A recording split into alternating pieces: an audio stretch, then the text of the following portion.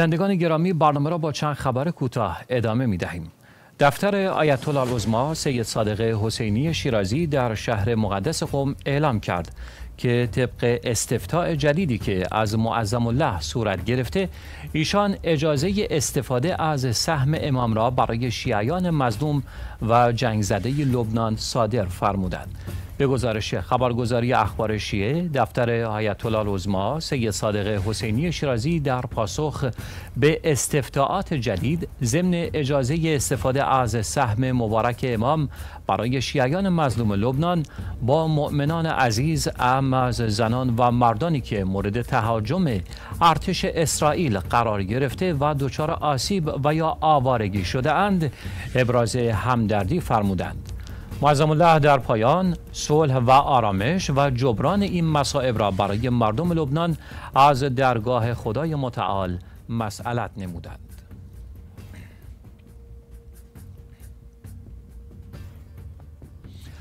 هلندی ها که برای مدیریت بهتر بر مسلمانان این منطقه به تقویت جریان های سنی پرداختند با ترویج مذهب شافعی سعی در محدود کردن تأثیرات شیعی داشتند.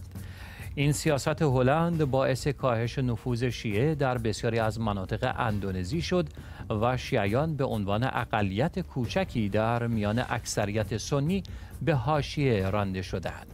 با ورود استعمار هلند به اندونزی در قرنهای 17 و 18 حضور شیعه در این کشور تحت تأثیر قرار گرفت.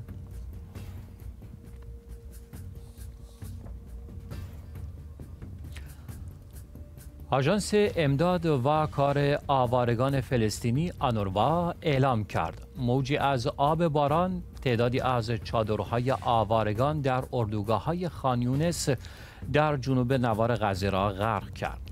بحران آوارگان به دلیل کمبود شدید مواد اساسی لازم برای حمایت از آنها در برابر باران و سیلاب وخیمتر می شود.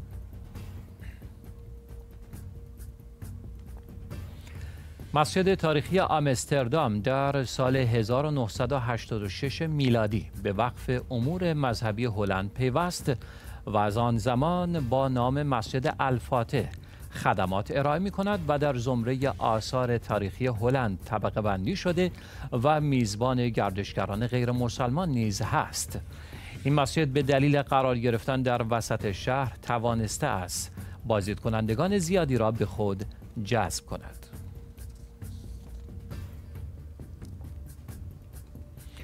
رئیس جمهور اندونزی دستور تشکیل نیروی سایبری را به عنوان شاخه چهارم نیروهای نظامی این کشور صادر کرد.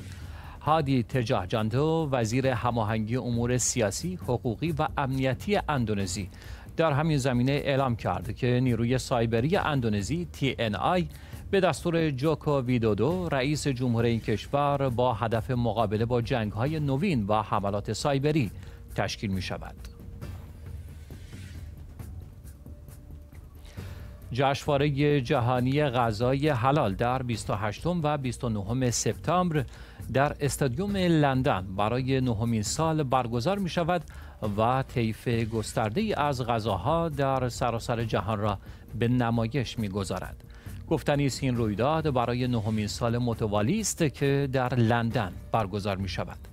در این رویداد فروشندگان، سراشپزها و غرفه های مواد غذایی به نمایندگی از کشورهای پاکستان، ترکیه، مراکش، اندونزی و غیره حضور خواهند داشت.